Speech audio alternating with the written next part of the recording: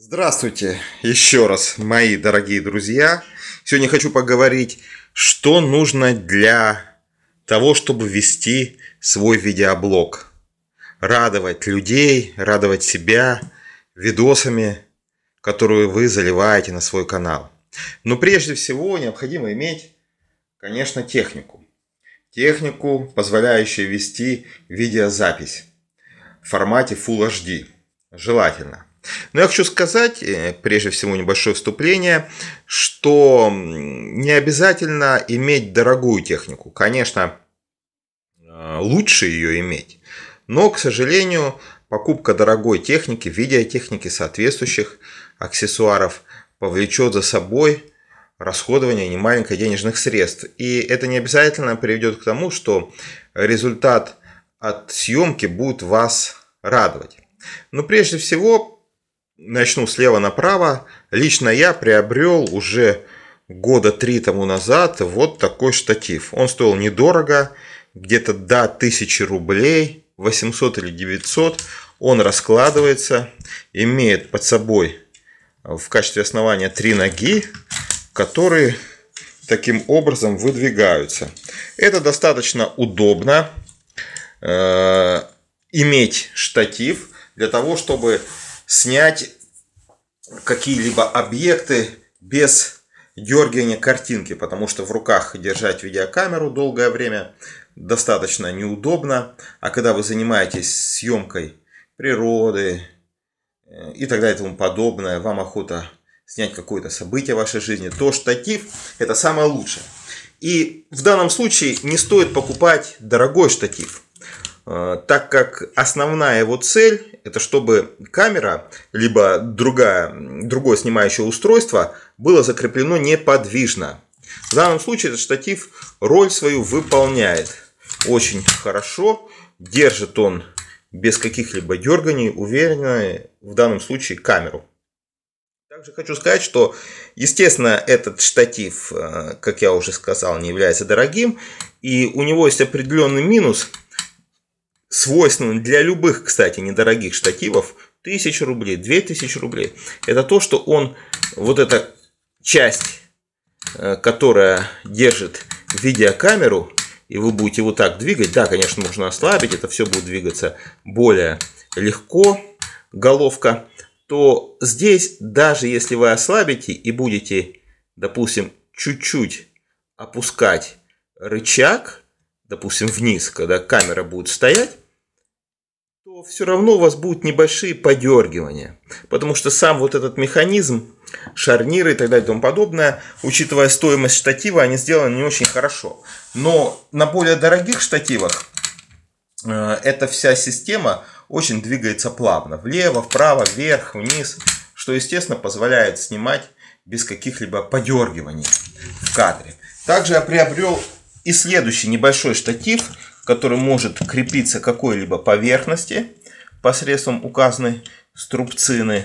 И также можно его расположить неподвижно также на какой-либо поверхности, не завинчивая его, допустим, к столу. Вот таким образом.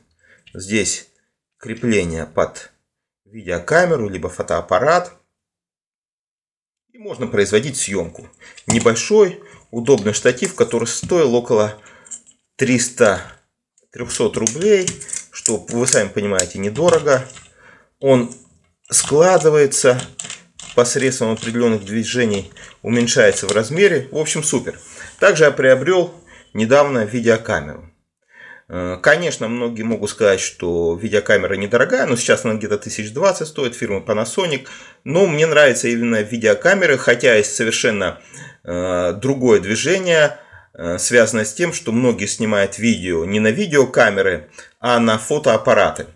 Ну, для меня видеокамера удобнее в силу определенных причин. Она меньше размер занимает, чем фотоаппарат. У видеокамеры некоторые функции реализованы получше, чем у фотоаппарата, именно для видеосъемки. Но, тем не менее, некоторые покупают фотоаппараты, с помощью которых они не только фотографируют, естественно, но и занимаются видеосъемкой. И это считается многими лучше, потому что э, фотоаппарат дает более качественную картинку. Ну, я купил видеокамеру.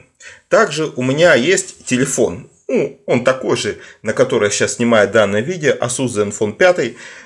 Если вам нужно снять какое-то событие, э, то, естественно, вам иногда э, проще снять на ту технику, которая является компактной, и она всегда под рукой. В данном случае это, естественно, телефон.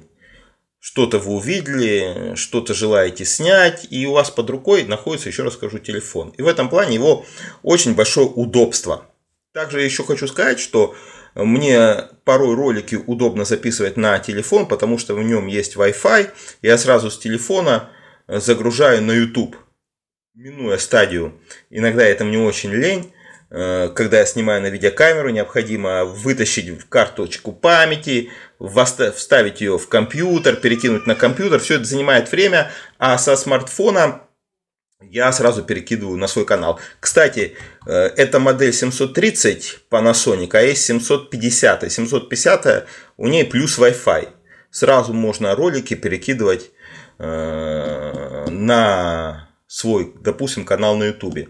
Но камера снимает э, достаточно э, большие объемы файлы, поэтому, естественно, когда вы снимете такой камерой, небольшой даже сравнительно отрезок времени, у вас файл весит много, поэтому если вы будете перекидывать по Wi-Fi сразу на свой канал с камеры, то у вас -то по времени займет очень много. Поэтому иногда, особенно когда я снимаю видео-футажи продолжительные, я перекидываю иногда на не иногда, а перекидываю на компьютер и немножко ужимаю размер файла. Ну, не суть. Также было давно куплена вот такая мыльница, но сейчас, э, кстати, я считаю, что эра таких мыльниц достаточно ушла в прошлое, потому что неплохие снимки делает и смартфон в данном случае.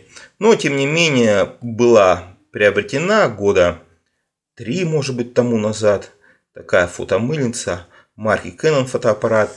Снимает также он и видео в э, разрешении Full HD HD. Но э, тут микрофон очень слабый, поэтому раздаются такие шумы, какие-то пощелкивания, потрескивания. У меня есть старые видео, снятые на данный фотоаппарат. Э, я делал определенные обзоры, и звук там не очень. Да и в принципе, как и видео с фокусировкой проблемы. Поэтому сейчас приобретать э, данный девайс, э, фотомыльницу, я считаю лишнее. Вот, в принципе, все кратко. Ну, также еще необходимы, э, если вы собираетесь заниматься монтажом, вам найти определенную монтажную программу Sony Vegas, Adobe Premiere Pro, не суть. Также у меня установлена одна программа, которая позволяет обрезать видео, как салвек называется, кажется, да, обрезать видео или соединять несколько видеофайлов без потери их качества. Обрезать их я ее тоже использую.